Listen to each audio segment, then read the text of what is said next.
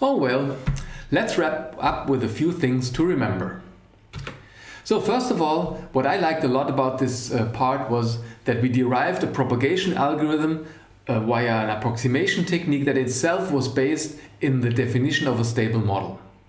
With the idea more or less that initially we start with the empty set and the set of all atoms and tighten the approximations and then we have all the stable models in between the lower and the upper bound and then we do a case analysis and recursively apply the, the expand procedure as we called it to, to both cases.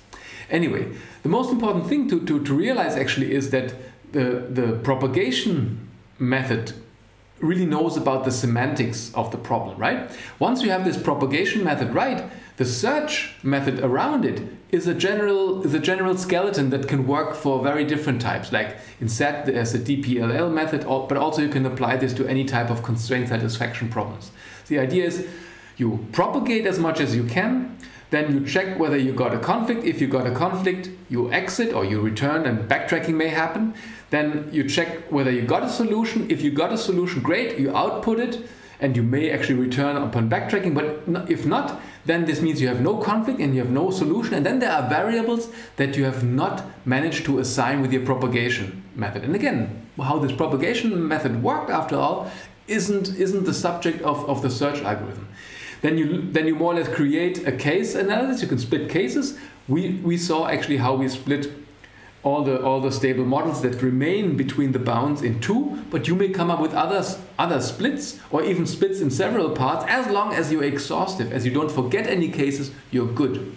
But anyway, so the semantics lies with the propagation, the search is a general purpose skeleton approach which uses propagation then does case analysis.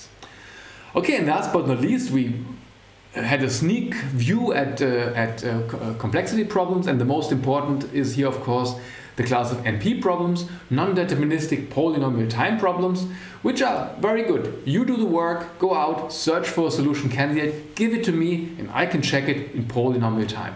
So you really have to search, and I just verify. Isn't that great? Oh well.